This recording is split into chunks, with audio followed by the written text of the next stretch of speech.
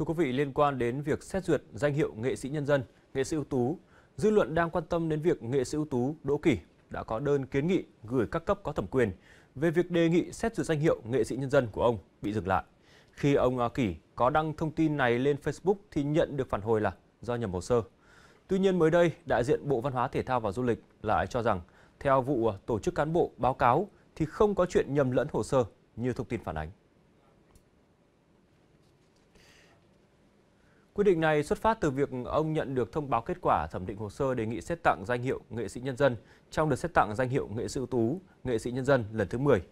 Thông báo này ghi rõ hồ sơ này Ban thi đua khen thưởng Trung ương, trình Thủ tướng tạm để lại do cá nhân có đơn thư và ý kiến của Bộ Công an, không đủ điều kiện, tiêu chuẩn đề nghị xét tặng danh hiệu nghệ sĩ nhân dân lần thứ 10. Ông Kỳ đã đăng thông tin này lên Facebook. Sau đó có nhân sự vụ tổ chức cán bộ Bộ Văn hóa Thể thao và Du lịch liên lạc với ông qua điện thoại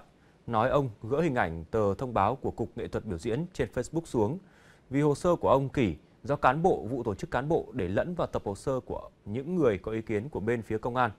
Tuy nhiên, đại diện Bộ Văn hóa Thể thao và Du lịch khẳng định không có chuyện nhầm lẫn hồ sơ như thông tin phản ánh.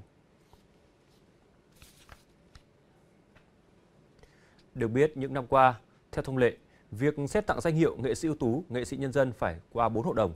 Hội đồng cơ sở, hội đồng cấp tỉnh, thành, bộ, hội đồng chuyên ngành và hội đồng cấp nhà nước.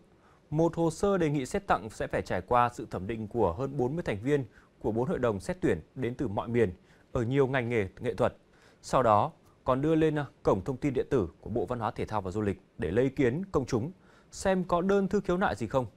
Chính vì sự khắt khe này, khó có chuyện chạy hồ sơ.